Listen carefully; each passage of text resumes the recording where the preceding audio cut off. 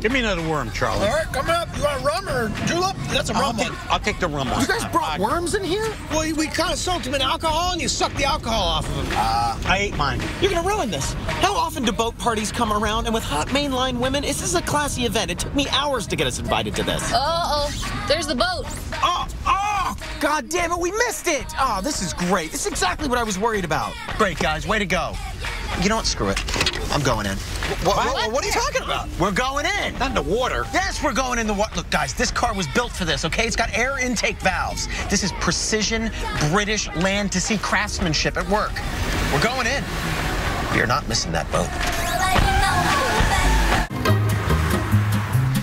Bob, I want to thank you for answering my ad so quickly. Well, I really needed a car, and I always wanted a Range Rover. Yeah, well, hey, I got to tell you, though, it's not just a car. This is a lifestyle. This is an Eddie Bauer edition. Tortoiseshell interior, supercharged twin cam, European luxury sports utility vehicle, my friend. Wow. Yeah, it's a classic, okay? The only reason I'm giving her up is because I'm ready to turn a page.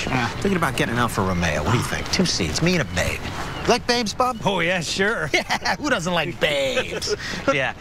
Yeah, it's a wonderful machine. I used it to traverse the plains of the Serengeti of my life. And now I want that for you, Bob. And there she is. I'm sorry, you, you talking about the car in the river? Yeah. Well, it's an amphibious exploring vehicle, so. You, you think you can pull it out of the river? No, no, what fun would that be?